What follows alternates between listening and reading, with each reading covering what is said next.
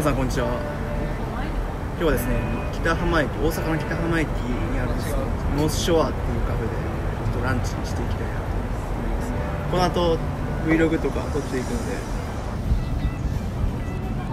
はい。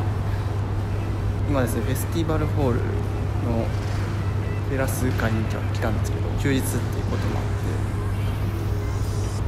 って外に出れません。